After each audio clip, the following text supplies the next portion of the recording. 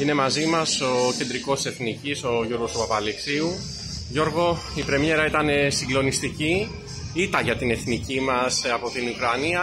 Τι κρατάμε από αυτό το παιχνίδι και πού θεωρείς ότι κρίθηκε; Λοιπόν, ε, πρώτα απ' όλα πιστεύω ότι είναι κρίμα που χάσουμε το σημερινό παιχνίδι. Ήμασταν πάρα πολύ κοντά σε όλα τα, τα σετ πλην ε, tie break όπου εκεί φάνηκαμε ίσως ε, λίγο κουρασμένοι δεν ξέρω δεν δώσαμε τόση ενέργεια όσο θα έπρεπε κάναμε κάποια εύκολα λάθη με πλασέ από την αντίπαλη ομάδα ε, από εκεί και πέρα συνεχίζουμε για το μάτσε με το Βέλγιο το Σάββατο, αύριο έχουμε ρεπό, να ξεκουραστούμε για να είμαστε πάλι έτοιμοι για να δώσουμε το 100% στο γήπεδο. Ο βαθμός που έχει κατακτήσει παρά την ήττα της η Εθνική, πόσο σημαντικό θεωρείς ότι είναι, είναι πάρα και πολύ πόσο ζωντανή την κρατάει στην ε, Την διοργάνωση; κρατεί ζωντανή, πιστεύουμε στην, προ... στην πρόκριση, δείξαμε τη μαχητικότητά μας, τι ομάδα είμαστε.